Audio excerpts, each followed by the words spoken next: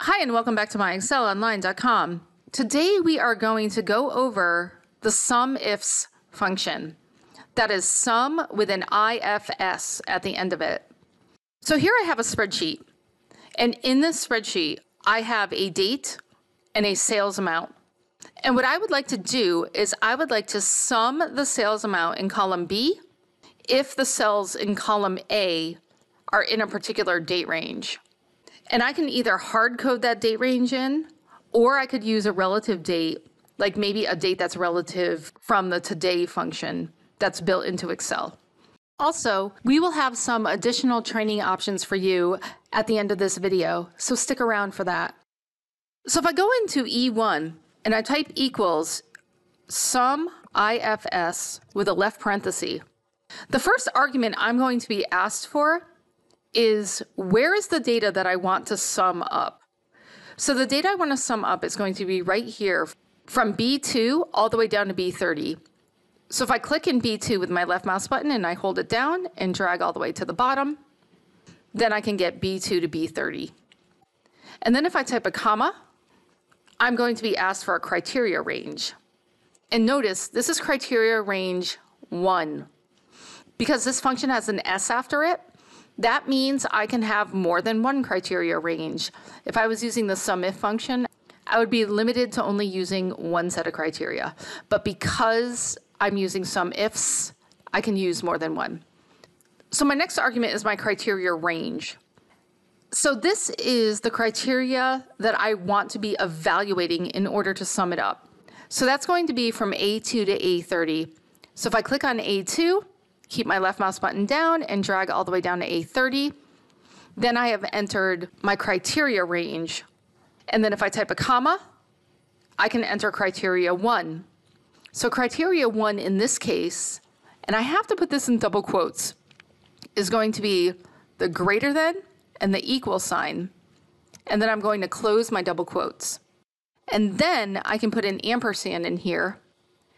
And then back in double quotes, I'm going to put 1, 1, 23 and end my double quotes. So if I were to close my parentheses here and hit enter, I can see that I'm going to sum up this entire column because everything here is greater than or equal to 1123. If you look at this total down here, you will see 182, 746 is the same as what I have right here in E1. But I really don't want everything that's just simply greater than 1123. If you are liking this video, please give us a thumbs up and subscribe to our channel and hit the bell button to get notified when we release our weekly videos. So I'm going to click in here right before the parenthesis, but right after the double quote, and then I'm going to type a comma. And now I can give a second criteria. So in this case, I'm going to highlight A2 to 30 again, and then type a comma. And then my criteria in this case is going to be very similar to what I just typed before. And let's do a double quote and do less than or equal to. And my double quotes, put my ampersand. And then in double quotes again, let's put 13123 and end the double quotes. And now I'm going to press enter. And you can see now my value is 132, 195. Is this correct? Well, I'm just going to manually highlight everything in between 1, 1 and 131.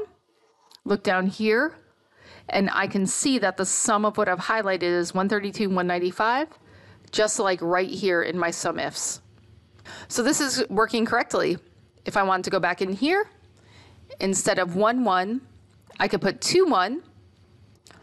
And over here, I could change this to 231, but there is no 31, so let's just make this 228 and hit enter. And now I'm getting 50,551. If I highlight all my February numbers, I can see down here that it is 50,551. So that is correct. Now, what if you don't have a hard coded date? What if you just wanted to use the date relative to today? So if I click on sheet two, I can see that I've already populated this sheet with some current dates. So the formula is going to be very similar. So if I click in E2 and I type equals sum ifs with a left parenthesis. I'll be asked for my sum range again. And again, that will start with B2 and go all the way down to B30. And then if I type a comma, my first criteria range will be my dates. I can highlight A2 all the way down to A30 and then type a comma. And now for my criteria. So in double quotes, I want to put a greater than sign and end my double quotes. And then I'm going to put an ampersand and I'm going to type today with a left parenthesis and a right parenthesis right after it. So instead of hard coding a date, I'm saying I want anything that's greater than today. But I don't have any sales greater than today. So what I really want is today minus seven. So what this will do is give me anything that's been sold in the past week. That would be anything after seven days before today. So if I close my parenthesis and hit enter, I can see that I'm getting 43,758. And because today is November 8th, if I go back seven days, you would think it would be November 1st, but it's really November 2nd because it includes today, and I don't have anything on here for 11 8. So I could highlight all of these and look down here, and I will see 43,758. Let's change this date here to 11 15, which is a future date. And if I hit enter, I can see that my number has not changed. So if for some reason I have a sales amount for a future date, if I click back in E1 and type a comma, and I can enter a second criteria range. So if I click A2 all the way down to A30 and type a comma, and then type a double quote and do less than or equal, and then a double quote and an ampersand, and today with the left parenthesis and the right parenthesis, and I hit enter. Now let's say I highlight from 11.2 to 11.6. You can see down here that I'm getting 34,676, same as the number up here. So it's excluding any future dates.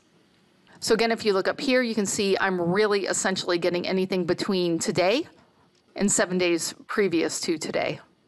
So hopefully that shows you a couple of different ways you can use the IFS function with some dates. If you would like to read more about this, you can visit our blog, and I will include the link to that in the description below on YouTube. If you have any questions or comments, please leave them below and we'll get back to you. Thanks for watching, and see you again next time. If you want to learn more about Microsoft Excel and Office, join our Academy online course and access more than a thousand video training tutorials so that you can advance your level and get the promotions, pay raises, or new jobs. The link to join our Academy online course is in the description. If you like this video, subscribe to our YouTube channel. And if you're really serious about advancing your Microsoft Excel skills so you can stand out from the crowd and get the jobs promotions and pay rises that you deserve, then click up here and join our Academy online course today.